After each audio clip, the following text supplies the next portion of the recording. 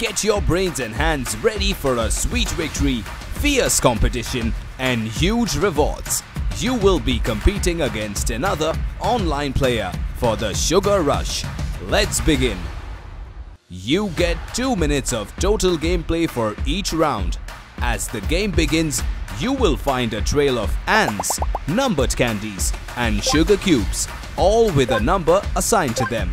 For the sweet taste of victory, you need to hold, drag, and collect sugar cubes to increase your ant. Like Mama said, avoid candies and chocolates.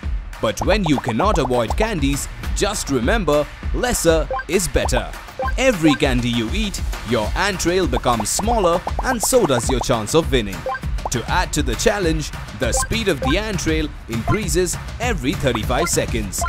Your game will end if you're going for candies with bigger numbers and your ant trail is shorter.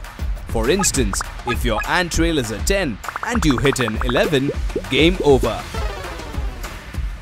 PlayerzPot pe Ant-Man khela gaya. PlayerzPot, yeh hai India ka naya maidan. This game involves an element of financial risk and may be addictive. Please play responsibly at your own risk.